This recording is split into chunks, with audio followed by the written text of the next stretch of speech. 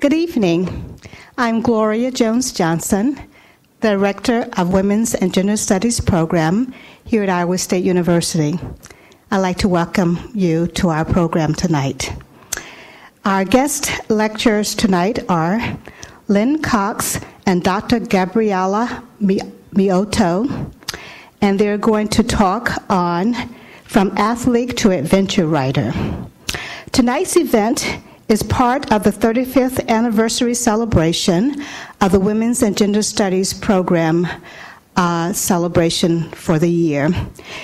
In addition, there are several other sponsors of tonight's lectures, and it really underscores uh, the um, uh, a ground root praise of, uh, of, of uh, having these people, uh, remarkable women, visit with us this, this, these past two days. So the other co-sponsors tonight are the Athletic Department, Biological Sciences Club, Ecology, Evolution, and Organismal Biology, English, Environmental Studies, Kinesiology, Kinesiology and Health Club, LES Miller Lecture Fund, MFA Program in Creative Writing and the Environment, Marine Biology Club, Pre Medical Professions Club, the Vagina Warriors, Women and Gender Studies Program, Writer's Block, and the Committee on Lectures funded by GSB. Let me tell you a little bit about our, our uh, guest tonight. Lynn Cox competed, completed her first open water swim at age 14 when she swam across the Catalina Channel 27 miles with a group of teenagers from Seal Beach, California. In 1972, at age 15, Lynn swam across the English Channel and shattered the men's and women's world records with a time of 9 hours and 57 minutes. She was the first person to perform many swims worldwide, including across the 42 degree Fahrenheit waters of the Strait of Magellan, between three of the Aleutian Islands, around the Cape of Good Hope, and 1.2 miles in Antarctica from the ship the Orlova to Neko Harbor. Her efforts to promote diplomacy and peace have included swims across the Bering Strait, opening the U.S. Soviet border for the first time in 48 years, across the Beagle Channel between Argentina and, and Chile, across the Spree River between the newly united German republics, and through the Gulf of Aqaba from Egypt to Israel and from Israel to Jordan tracing the progress of peace between the three countries. She is the author of three books Swimming to Antarctica, Grayson, and South with the Sun. The recipient of the Susan B. Anthony Award for Leadership, and she was inducted into the Swimming Hall of Fame in 2000. Dr. Gabriella Miotto has a great love of nature, languages, human rights, dance, and poetry. In addition to her medical degree, she also holds a master's in public health, and as a family physician, she has focused on community and integrative medicine and multicultural wellness practices in California and Alaska. Gabriella has also volunteered her time for humanitarian relief and development work in Latin America and the Balkans. Her poetry appears in Pop Art, an anthology of Southern Californian poetry. She is also on staff at the Children's Clinic in Long Beach, California. With no further introductions, I'm proud to present our uh, guest lecturers tonight, Lynn Cox and Dr. Gabriella Miotto. Thank you.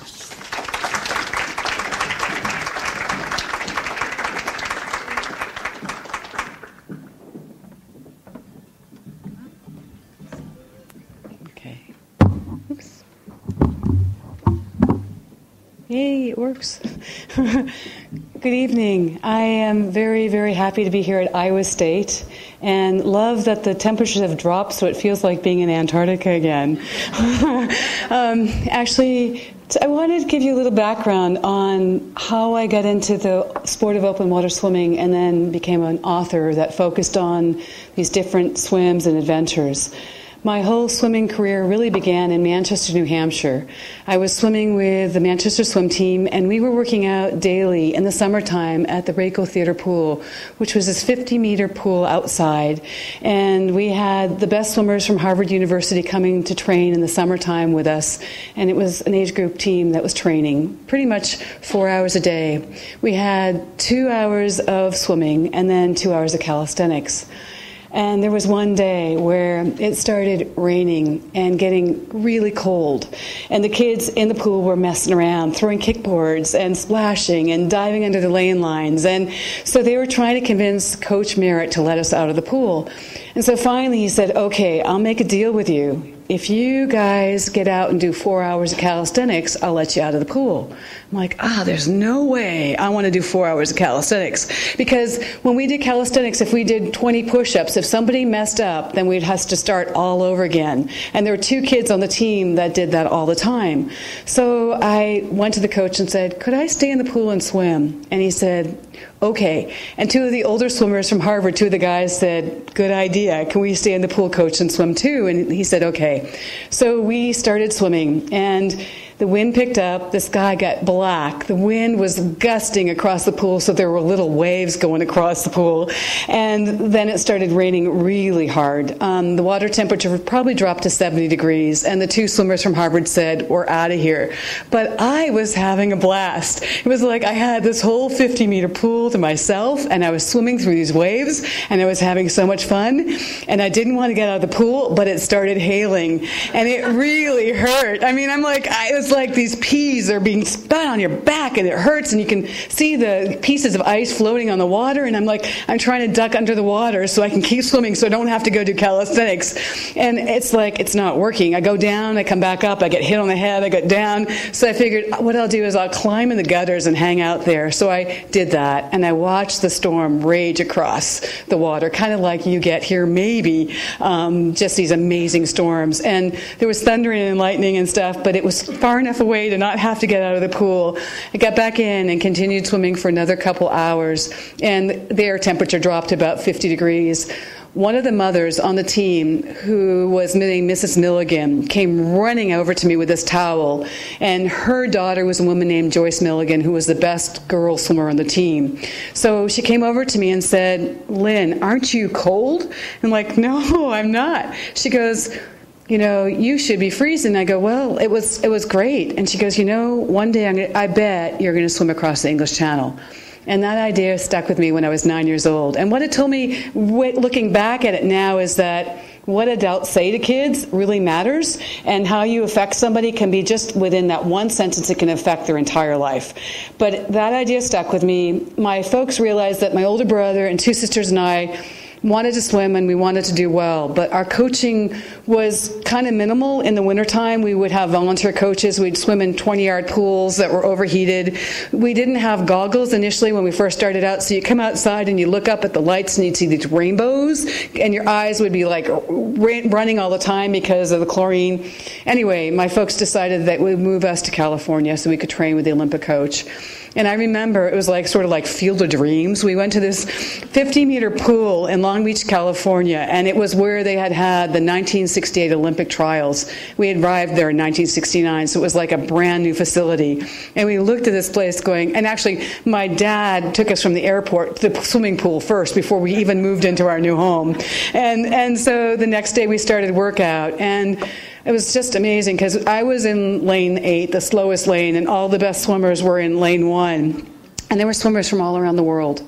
And so I don't know why I was telling coach in swimming here today yesterday that uh, you know I didn't I wasn't intimidated. I would go over to them and say to the guy that would would win the 400 meter IM, a guy named Hans Fosh, uh, Gunnar Larsson from Sweden, could you watch my butterfly, Gunnar? And Gunnar would watch my butterfly, and then I would talk to Hans Fassnacht, who who would do the 1650 free and the 1500 and get a silver medal for Germany in the 76 Olympic Games. And I'd say, Hans, would you watch my flip turns? And Hans would watch my flip turns. And I'd ask him, Will you show me how you swim? And these guys were like in their early 20s, and I'm 14 years old, and they're showing me how they swim. So it was like the coolest thing in the world because what I learned then was that people who are great are willing to help other people because they're not just great athletes, they're great people. And so that was something that I carried with me that whenever I really want to do something important, I need to look for somebody who can do it a lot better than me and learn from them. So that was sort of, that stuck into my head. Then as time went by, I worked out for two years with this team in Long Beach, California, with the best swimmers in the world. And Coach Gambril was one of the best coaches in the world. He wound up coaching four Olympic U.S. Olympic teams. And one day he said to me, "Is you know, Lynn, you have this ability at the end of the workout to go further. You always seem to have more energy."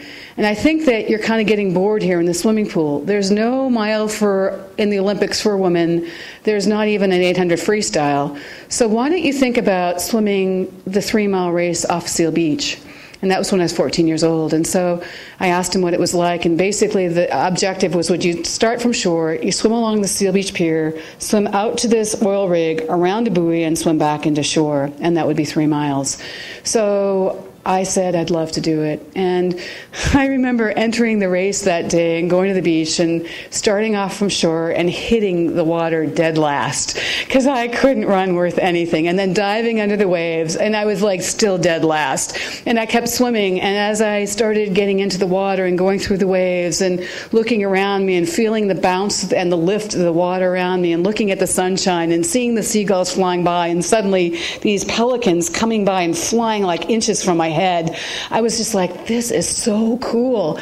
And as I swam, I started picking up my speed. And then all of those kids that had passed me up in workout, that were the sprinters, were sort of falling behind. And for once, I could see myself doing really well. So I wound up doing going around the buoy at the at the at the half mile mark, way offshore, and then coming back toward shore and picking up speed. And my mom and dad were standing on the pier cheering me on, and I kept going and wound up coming in first in the women's group and third in the men's And that day, I heard about a group of kids that had been training for a year. There was one 12 year old and four 14 year olds who were planning to swim across the Catalina Channel. And Catalina Channel, here's my PowerPoint. Um, here's Catalina Island, and here's the mainland of California. In a straight line, it's 21 miles. Um, back then, we didn't have GPS, and the navigators that were navigating for us used radar. So instead of swimming a straight line, you would swim this inverted S course.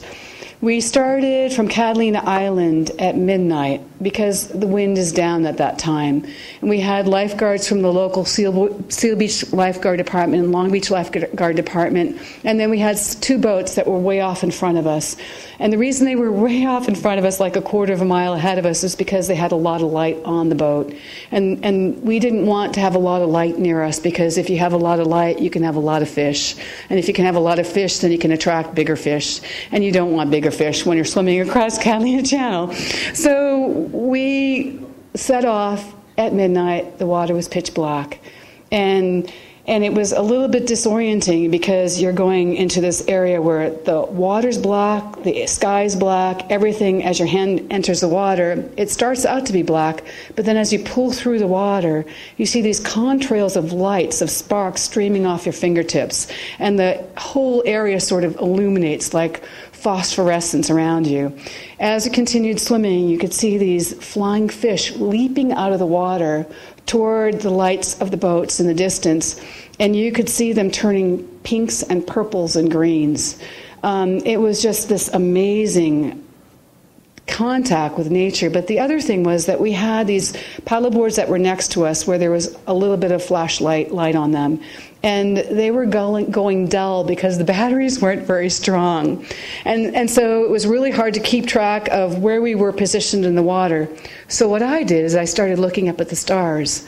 And that was amazing because suddenly you're away from shore and you can see the entire canopy of sky above you illuminated as points of light. And you could see shooting stars and you could see different color stars and you could see the Mars and Venus and I'm swimming along and as time is going on you can see the constellation moving across the heavens. And so, so instead of trying to watch a watch which you couldn't anyway you could sort of tell that there had been time passing. About four hours into the swim one of our teammates Nancy Dale had gone into hypothermia and had to be pulled out. And it was like that was probably the lowest point of the swim because we had agreed doing the swim together. And to see one of our teammates getting pulled out, it was really awful. But at the same time, I think it made us realize that we would stick it out, we would do this together. There was one point about five hours into the swim where my coach said, you know what? You are so strong that you can go and break the men's and women's world record. So why don't you just leave Nancy and Andy and Dale and Stacy behind and, and go for the record? And I thought about it and I thought, no, I can't do that because they let me train with their team. I you know, I was privileged to be able to do this with them, and we had decided that no matter what, we would stay together. So, because I was faster, I'd get about a mile ahead and tread water, and then wait for them to catch up, and then swim with them for a while, and then I'd get ahead. And finally, in 12 hours and 36 minutes, we made it to shore. Um, my friends and I were lying down on the shore, sort of shivering and trying to warm up for about an hour, and then we had to walk these cliffs in Palos Verdes up to the to where the parent our parents had parking lot, the parking lot for the car. Got back home, we had used lanolin, which is this sticky substance that's made from the wool of sheep, and we smelled really bad, and the stuff you just just wanted to get it off. So the only way that really worked was to take a whole thing of dishwasher detergent, squirt it all over me, and then sit in the bathtub and watch these cakes of grease come off. Um, and later on, I learned that you don't want to do that. You don't want to wear this lanolin because it's made from the wool of sheep, and it could attract fish that you don't want swimming with you so anyway, I sat in the bathtub and, and, and floated and thought about, wow, you know, we were the first group of kids to swim 27 miles across the Catalina Channel, and we did it. And, and we had all these people that helped us, but we made it. And so I thought, I want to swim across the English Channel. So the next morning, I went to my mom and dad and said, Hey, will you help me swim across the English Channel? And they said yes. So the next day, I went back to Coach Gambril and said, Would you help me train to swim across the English Channel? Um, and he said, You know, I've never coached anyone to swim the channel before. And I said, That's okay, coach, I've never done it before. So what he did is he took these workouts that he had done, he'd worked with and through the Olympic swimmers and applied them to open water swimming for me. And what happened was there was one day where I was training, and my mom was walking me, with me between five and ten miles a day. And there was a woman named Helen Olsen who had grown up in Norway, and her daughter was a swimmer on the team. But she liked to come out and walk the beach with my mom, and she walked and talked the whole way. And I remember her talking about Roald Amundsen, and how Roald Amundsen was the first man to reach the South Pole, and how amazing he was because he was able to endure this journey and the cold that went like below minus 40 degrees. And so I thought, this man must be really exceptional. And she kept telling me these things about, you are like Amundsen because you have this endurance, and you can go fast, and you will swim across the English Channel. And again, this wasn't my mom telling me, this was my friend's mom who was encouraging me to do this. And that sat in my my head. And so when I went to England with my mom, um, you hire a pilot to go along with you. There's a list of names you can choose from. You get somebody from the English Channel Swimming Association, and you set off at midnight usually again because it's the air's calmer, so there's less, the water's not choppy, and you start off. We we set off from shore, and I was really excited because from all the way back from being nine years old to now 15 years old, it was my goal to swim the channel. But the other thing was that my goal also was to break the men's and women's world records.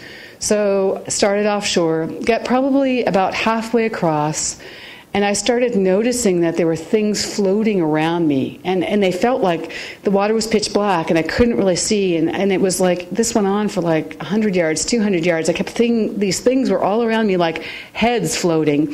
And finally, I turned to the pilot on the boat and I yelled and said, Reg, what is in the water? He said, Oh, a ship just went by and it dumped off a bunch of lettuce heads. You're swimming through oh, lettuce heads. you know, it just doesn't, these things do things to your mind when you're in black water alone swimming. Well, years and years later, my friend John York would do a swim across the English Channel, and he would get within a mile of shore. And he said he knew he had gotten within a mile of shore because a ship had dumped a whole bunch of croissants, and he was swimming through hundreds and hundreds of yards of croissants. And he said he was so hungry that he thought he might pick one up and eat it, but decided that was probably a bad idea. You know, when you do these swims, you do get hungry, and, and you, you go through these periods of, I think I can do this, and then you're tired, and you're talking to yourself, and you just keep going, and you try to keep going at a pace. Back then, my dad was a doctor, so he had suggested that I try all different things out before I do the swim. And, and so what I wound up doing is every hour or so I would have some water or I would have some apple juice or I'd have oatmeal raisin cookie. Um, the apple juice was something that I could warm up that would put energy back into me. But when you swim for six, seven, eight, ten hours, your, stro- your throat gets really swollen and the salt water is really abrasive. So kept swimming through the day into the night. And one of the most difficult things about swimming in this channel is that when you are usually a mile from shore, the tide changes. And it's like running a marathon and then seeing the finish line moving backwards. So at that point, if you've been swimming for hours and you've been trying to keep a pace, it's that point where you have to start sprinting.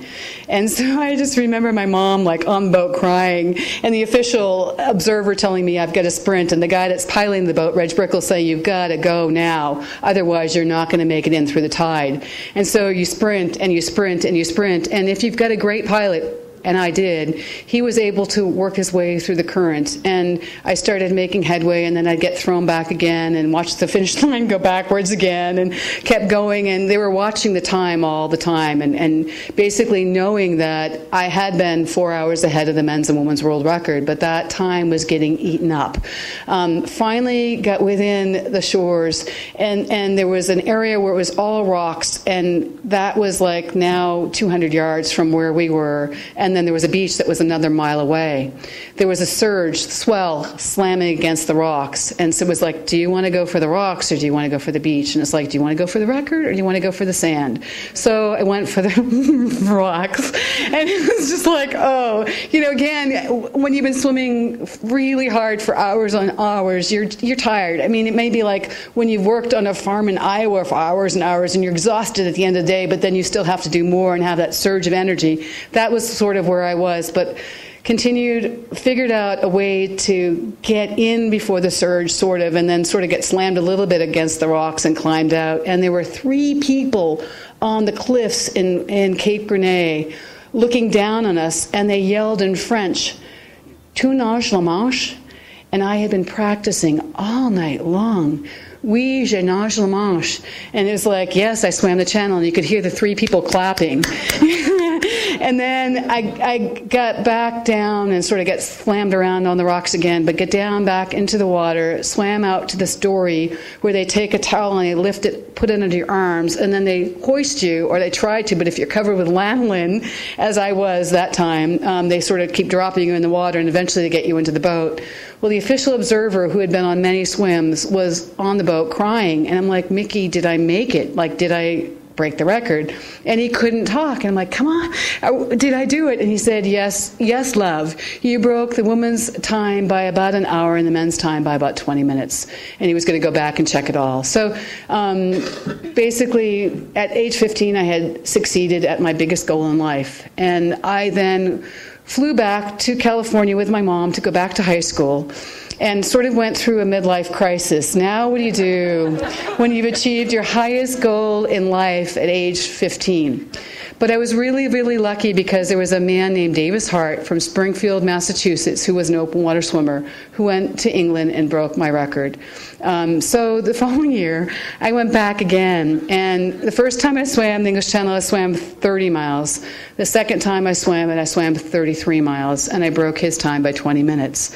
And as time goes by, you meet people that you don't expect to meet through time. And I was at, a, at an open water swimming race off of Alcatraz, and this young man came over to me and said, Do you know Davis Hart? And I said, Yes. He said, Well, you know, he was my coach. And I said, Really? He said, Yeah. He said, You know the day that you broke his record? I said, Yeah.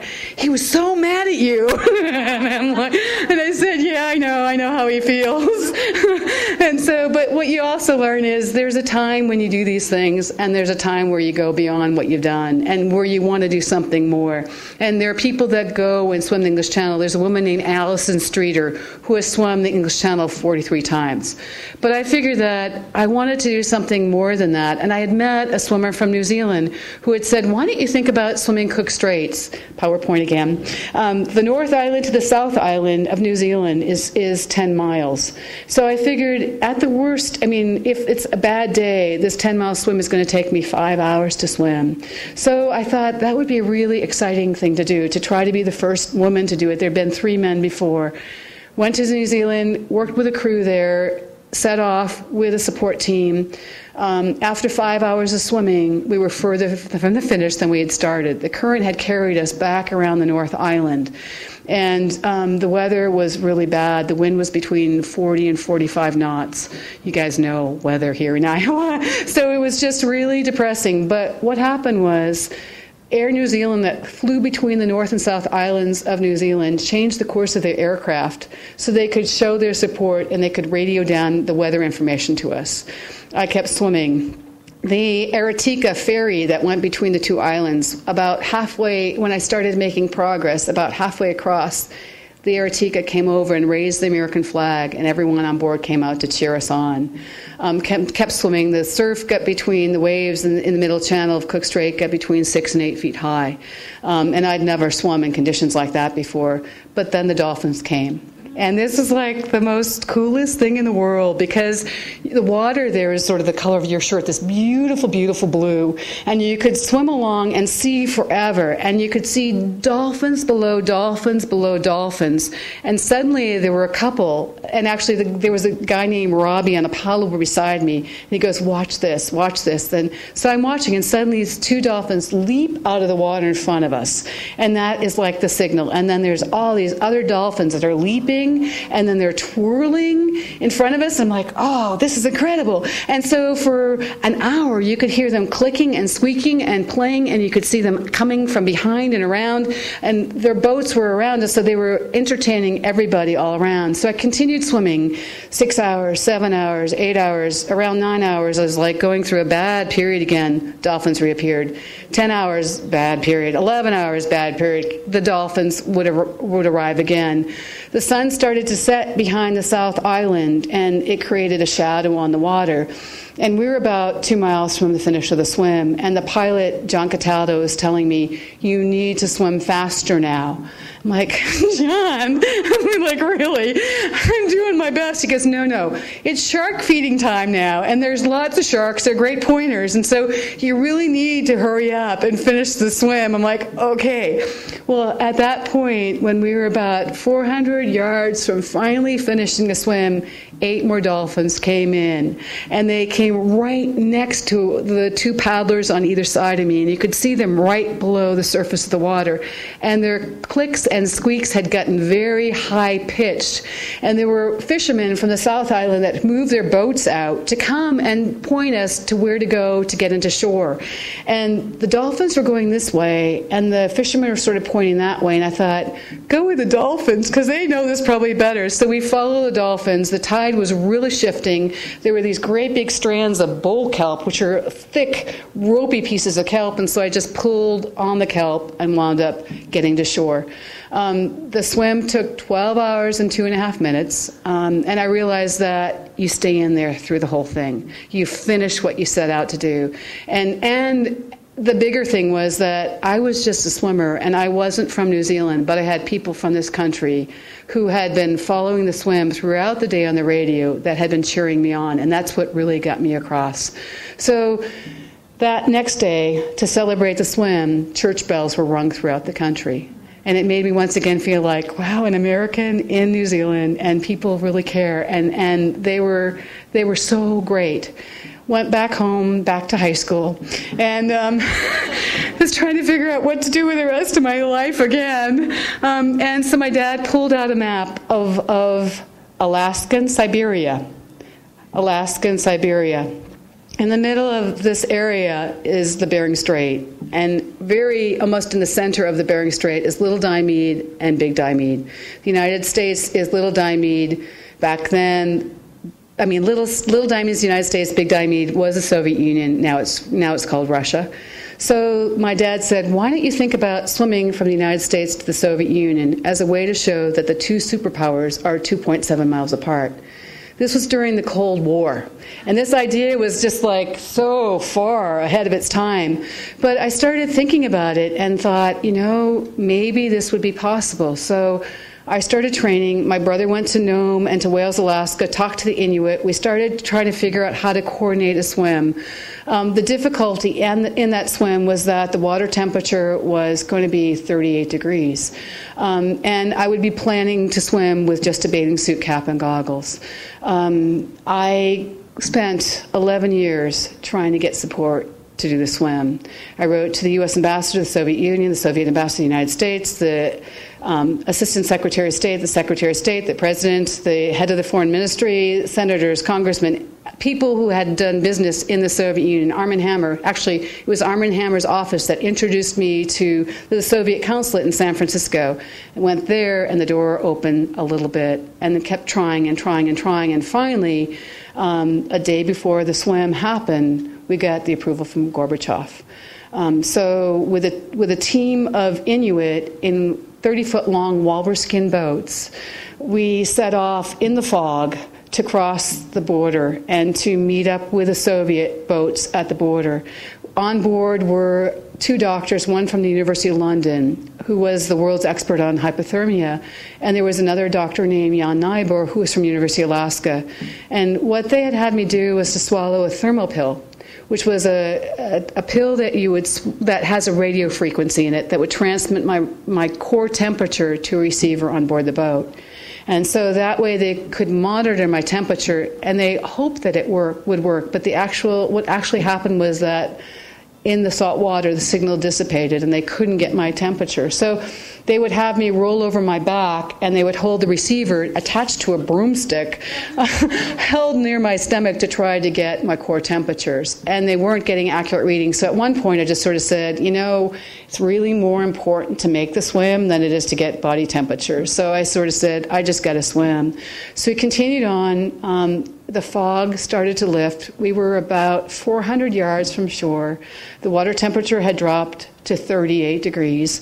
Um, there was a skiff coming from the south toward us, and there was a man named Vladimir McMillan, I'd find out, yelling at us, waving his arms and saying, My name is Vladimir McMillan. I'm from TASS. I'm with the Russian, the Soviets. We are here to welcome you. Um, but they can't land there because it's a cliff. Can you swim a half, a half a mile down the beach, see where those people are standing on the snowbank? Because if you can swim there, they will be able to welcome you to shore. And you're thinking, the water's 38 degrees. I'm really cold. I really, really want to finish. But, but the whole point was about reaching out to the Soviets and hoping that they would reach back. And so we paralleled the shore um, and went a half a mile and I climbed out on the snowbanks and I heard two guys in Soviet military uniforms talking to me in Russian and I'm like, we made it. You know, after 11 years of trying to get permission, the border was open. And then a few months later, when Gorbachev and Reagan were signing the INF Missile Treaty, Gorbachev, President Gorbachev stood up and said it took a daring American girl by the name of Lynn Cox just two hours to swim between our two countries. He said it showed how close to each other the two countries are and how our relations were improving. And so it made me realize that, yes, you know, we can make a difference in this world. We can do things that are symbolic. We can help to create things where we connect with each other and network work with each other around the world.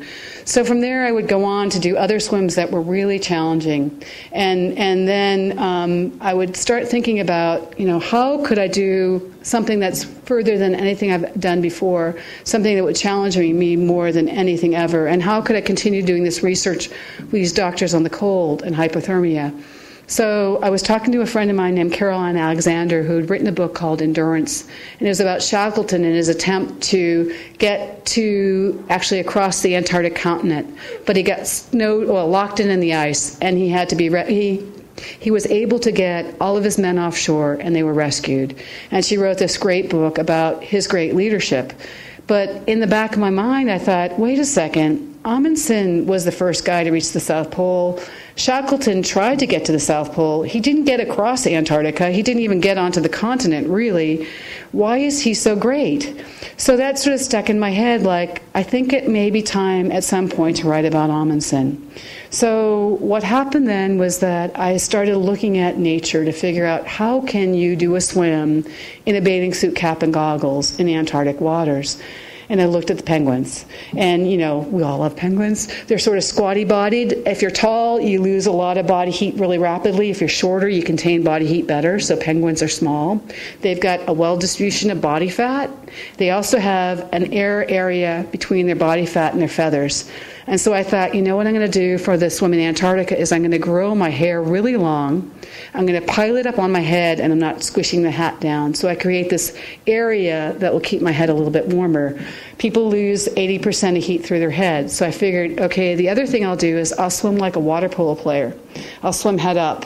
But the way I'll train for it will be different. I'll train like a sprinter. I'll work on developing upper body strength.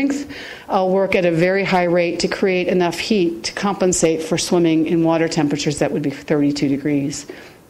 So I trained and worked with a wrestling coach to figure out how to work on balance too, because I figured that swimming is also about balance, and if I can balance better on land, I might be able to balance better in the water um, and pull more equally with my arms and swim more efficiently. So for two years, I worked on this idea and on this swim and then wound up going to Antarctica to do the swim. But before I went, I wound up contacting a group of friends that were physicians to go along with me. Because the problem with swimming in water that cold is that you have a nerve in your nose called the vagus nerve. And if you overstimulate it, if you jump into very cold water, you can flatline, you can go into cardiac arrest. So I needed to have people around me that would be there in case something bad happened. But also, when you swim in water that cold, you're swimming and creating heat for a certain amount of time, but you could lose too much body heat and go into hypothermia. Or at the end of the swim, when you're no longer exercising, the cool blood from the outside of your body can go into your core and cool your core down too quickly. So it was really important that I had doctors with me. I also had friends um, who came just to be there in three different Zodiac boats, and one of them was a man named Bob Griffith who'd grown up in Nebraska. And minutes before, well, maybe an hour before I was going to do the swim, we were thinking about things that we would do in case they needed to pull me out of the water quickly. And what I did is I had a string that I tied on the back through my suit that somebody could jump in and grab as a handhold. But that I could have still had problems or, or sunk if you go into cardiac arrest. So what we did was we were talking to each other, and Bob just happened to mention that he was a cow, he was a champion cow roper from Nebraska. So we decided that what we would do is put Bob in the lead Zodiac boat with a lasso, and we would Dan in the Zodiac boat with him wearing a dry suit, so that if I had a problem the first thing Dan would do is jump in in the dry suit, swim over to me, and try to grab that handhold. But if that didn't work, then Bob would take his lasso and throw it, and then Dan would loop it over me and then pull me out of the water. So we went ahead, went to Ushuaia, Argentina, at the very tip of South America. Then from there, we went by ship from the very tip of South America to, to the peninsula of Antarctica. We sailed for two and a half day, two and a half days south. The water conditions were awful. The waves were consistently 30 feet high, um, and we would look at the porthole of the of our cabin room, and it felt like we were inside a washing machine looking out. It was just really hard to to be comfortable. and most of the people on board the boat were really sick. Um, after we get down to Antarctica, we spent pretty much half a day looking for a place where I could do the swim where there weren't icebergs. Because if you swim around icebergs, they can move and they can fall on you and, and hurt your crew or you. So we had to find a place that was without ice.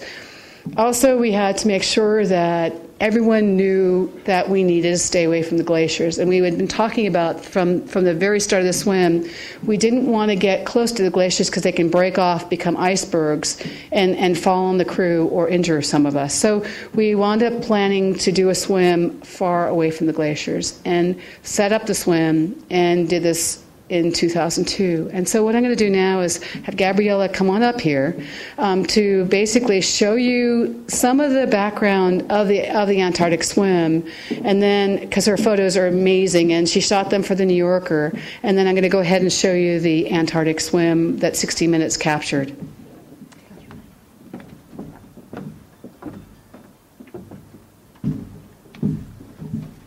Thank you.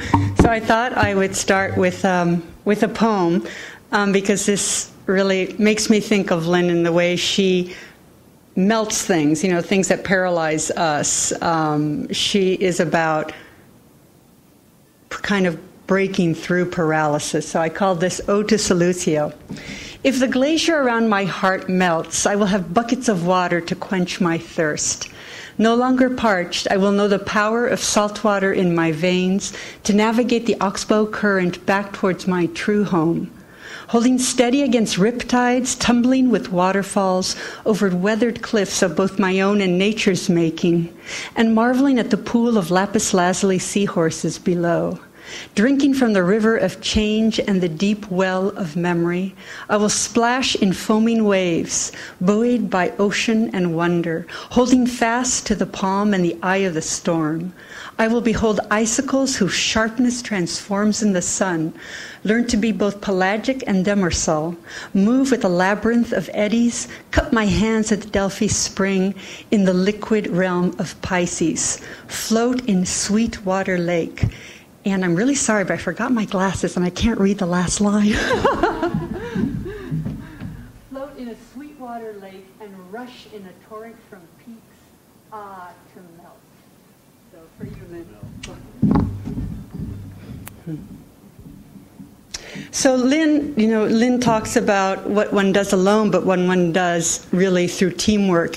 And so this photo is to kind of represent that aspect. And this was in Ushuaia, Argentina, and she was working with people from the Navy to practice her swims before actually getting to Antarctica. And this maybe sets the scene a little bit for you. You know, this the beauty of Antarctica takes really took my breath away, and I think that it, it, has that kind of effect on most people who see it. But you can see the color of the water and those huge icebergs, and just the way the sky is such an unusual kind of silver. And then you know you think, well, the Arctic is is like ice and snow floating, but Antarctica is actually continent. So here's this massive piece of land. And I really loved this um, particular image because it almost made me think of an animal rising up out of the water with its uh, with its ears there. Um, with my background as a physician, I was also very moved by the beauty of ice that really made me think of anatomy. And this made me actually think of Lynn, because you know, think of brain, brain stem, and spinal cord. And I was thinking about the power in her body to move forward. And um, this, this piece spoke to me of that, of her power.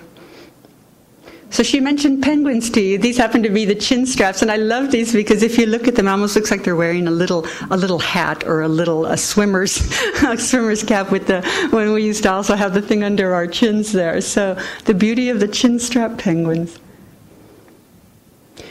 And then, of course, there's always that aspect that, that Lynn brings up of really knowing your environment. And here, one of the things that would have been a danger to her were the leopard seals. And uh, so we were keeping close eye on those as she did her swims. And don't be fooled by the smile. so here is Lynn leaving the Orlova, the, the ship that we were on, for what was going to be the test swim.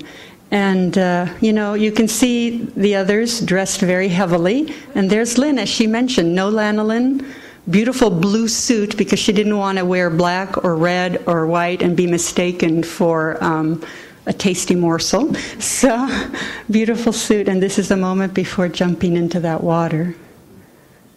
And there she is, swimming during the test swim. Notice the color of the water you know, she had talked about how stormy it was, so this was uh, uh, an appropriate time to be swimming. But I, I, I, whenever I look at these pictures, I feel again the, the wind and the, the, the cold.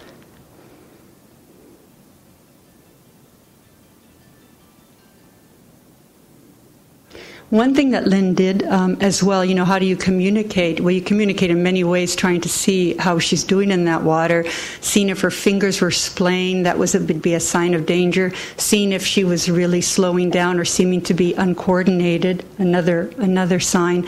If she had had a lot of blue over her shoulders, another sign. But this was great because this was Lynn's way, lifting her leg out of the water to say, "I'm okay," and she would do this periodically during the swim.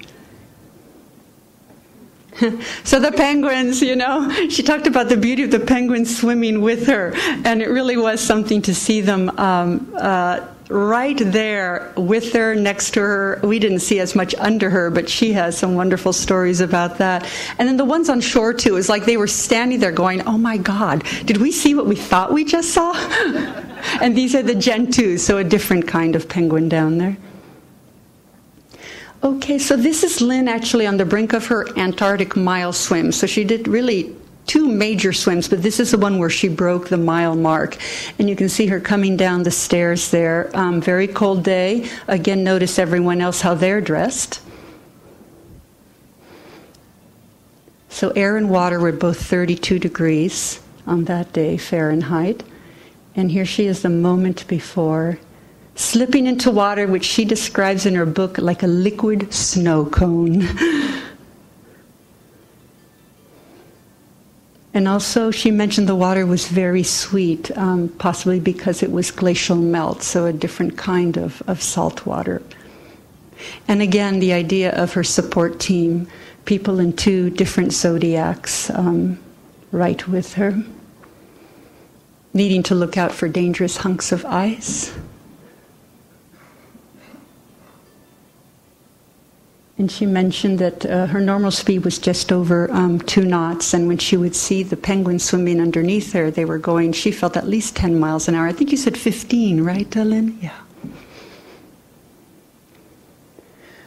So here she is. She, on that day, completed 1.06 Antarctic nautical miles, about 1.22 miles, in 25 minutes in 32 degree water. And there she is, no lanolin, you know, uh, basically bathing suit, green this time. And uh, I just love this shot. It's, um, I don't know, it seems to me to catch, catch her essence.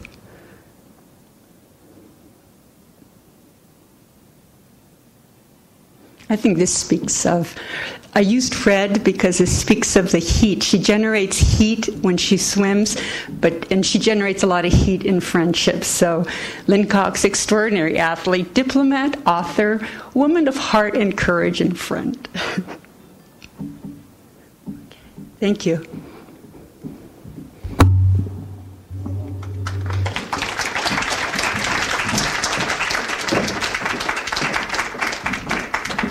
Thank you. So now what we're going to do is actually go to the final swim and show you what it entailed to do that swim. And actually, the key is that I do these swims, but they're never done alone. That I people think of me as a solo athlete, but I could never put myself out there without having Gabriella on board the boat and people watching me and knowing that if something goes wrong, they'll be there to get me out um, there's a lot of trust that goes both ways. So we'll go ahead and show the. It's about 10 minutes.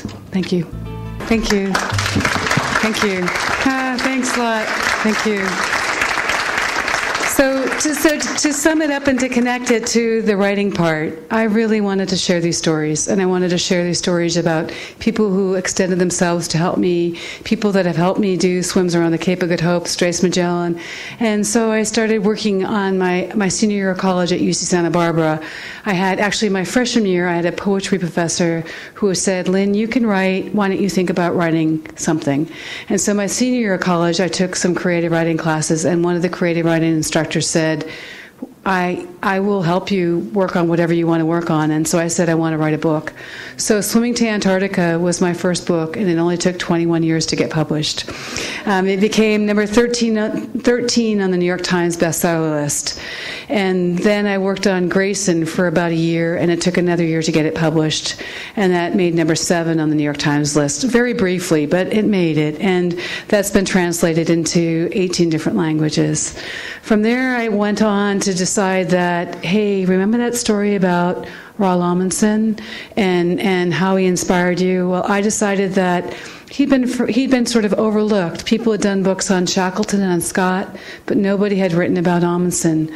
So for the last seven years, I spent working on a book about him because it's the hundred year anniversary of his achievement of the South Pole. And it was so important because he did things that nobody else did in terms of researching, figuring out how to do it, looking at all the early explorers that came before him, and then he trained harder than any of the others. And so I looked at these elements, I studied his letters, and, and one of the key things is that I found that he had a mentor named Fridtjof Nansen who was extraordinary. And he went to Fridtjof Nansen and said, Would you help me? And Nansen said yes, and he helped teach him all he knew, taught him about science, taught him about navigation. And then Amundsen went out, and when he did collections of water samples, he brought them back for Nansen. And then from there on, Amundsen went on to make it to the South Pole. But when he came back and went to Norway, and he was waiting for Admiral Byrd to land after his first flight to the North Pole, they had dinner together, and Amundsen sat down and explained to uh, Admiral Byrd what he needed to do to reach the South Pole. So within writing the story, I kept seeing how great people will look at other worthy people and hand down what they've learned to the next person to allow that person to go further. And so I decided to write this book in a way that a reader the book that I'm talking about, South with the Sun, that a reader could read what Amundsen did and what Nansen did and be inspired by their achievements, by their research, by what they found, discovered, who they inspired, how they all survived. They could look at these men and see all that, but then they could follow who they inspired and part of our ability now for exploration was in Antarctica was first because of Byrd flying there, but also because of a man named Gus Shinn, who was the first man to fly and land at the South Pole. So I went to Pensacola, Florida, and interviewed him about what it was like to land on the continent for the first time and the challenges he had to get the aircraft back into the air. And then from there, I talked to people in the Navy who then con- continued that mission, and then from there went on to fly the U.S. The U.S. Air Force went on to fly that mission, and so I collected some of their stories because they are now filling Amundsen's vision that the way of exploring Antarctica in the future is through flight. And what I'm trying to do in December of this year is go to Antarctica with a small group of people who are connected to Antarctic exploration to celebrate Amundsen's achievement because our South Pole Station is called the Amundsen Scott South Pole Station, but also to celebrate the U.S. military that are flying the missions into Antarctica that are opening up the continent to exploration in ways that we did with our country, but as unexplored as our country was at one point, Antarctica still is. And that's why it was so exciting to talk to the people, the men and women in the Air Force, who are flying into places nobody's ever gone before.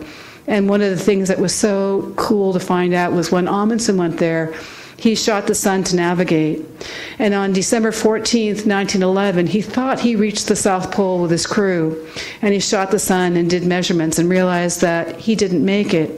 In Norway, they celebrate the 14th of December as the day that he arrived at the South Pole. But he was so pragmatic and he wanted to be so sure that he reached it that he continued south for three more days, which was huge because that put him and his crew at more risk of, of not surviving the journey back. And they reached the South Pole on December 17th, 1911 the Norwegians celebrate the 14th. And I'm like, now what do I do? I've gone back to the original documents, and Amundsen saying, I didn't get there until the 17th. And the archive librarians are telling me it's the 14th. So a friend of mine who's a swimmer, who's a cartographer, created the map in the beginning of my book and of the Arctic and the Antarctic in the back of the book. And I kept thinking, how do I do this? Because if he hadn't pushed on for three more days and reached the South Pole on the 17th of December, when Robert Falcon Scott came through a month later, he would have been the first to get to the South Pole, but instead he saw Amundsen's flag and the tent there. So it was like he had to do what he did to achieve what he did. But once again, it showed the character of this person that no matter what, he would go all the way. He would never go short of the of the goal. And so, on the chart in the back of the book, we have the day Amundsen thought he reached the pole, the day he confirmed that he reached the South Pole, and that way it was able to cover both both sides of it. Um, and and so my reason for doing these swims is to sort of push out there to see what we can do, to go beyond what we've ever done before, to find inspiration from others, to draw upon that, to help other people achieve their goals, and then to be able to write about these experiences. And I think one of the one of the most you know one of the most ex- exciting experiences was coming ashore in Antarctica and seeing the penguins on the glacier walking down and then jumping up jumping into the water. And then Gabrielle was mentioning that you could look down through the water and see them flying through the water. And there would be pods of between 6 and 8 that were were coming right underneath me and rolling over and looking at me, and you could see the streams of bubbles coming off their beaks. And then they'd move off, and another flock would come down. And and at the end of the clip there, you saw from 60 Minutes, they literally were all standing on shore. The Adelies were standing on shore and just like squawking away, as if "Welcome to Antarctica." Anyway, I'd like to thank you all very much for coming here tonight. And um, if you might have a couple questions, we have just a tiny little bit of time. And then I'm going to be over there signing books if you choose to get a book that you want signed. Um, do any of you have any questions? Or just yell at me. Does anyone have any questions? Yes. In Antarctica, I was, uh, let's see, two days before my, four, oh, two weeks before my 46th birthday. Yeah. And that was, at that point, that was the most difficult thing I've ever done. But since then, I followed in Amundsen's wake through the Northwest Passage to write that story to bring it to present day time.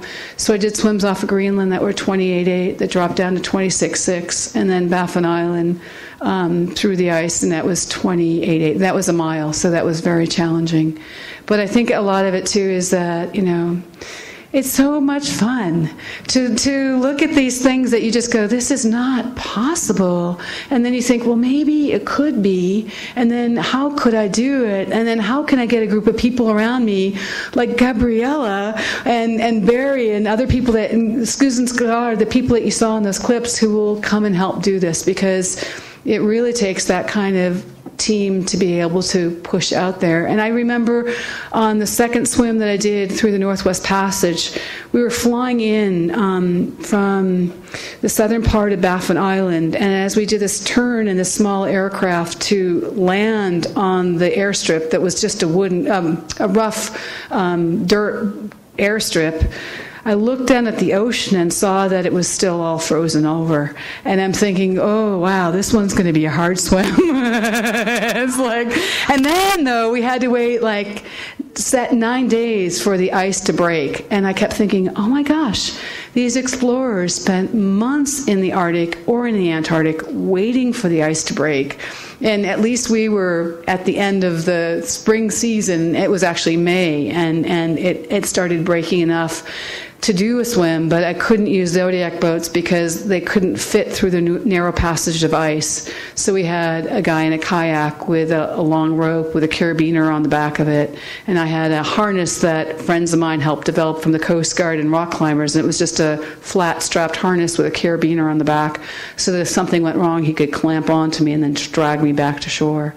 Um, but it, it is amazing to be swimming you know, in areas where there are penguins and see them, and to look into water that looks like the sky and you can see forever, and realize that the human body is really, really fragile, but it's also really resilient and strong. And so much of what we can do is, is limited by what we think we can do. And once we can get beyond that, then other things come into possibility, you know. Okay, thank you very much. Oh, one more, one more. Do I still swim? Yes, I still swim, and I have something that I'm thinking about um, once I am back home for a while and I can get back into training seriously. Yeah. Thank you very much. Thank you. Thank you.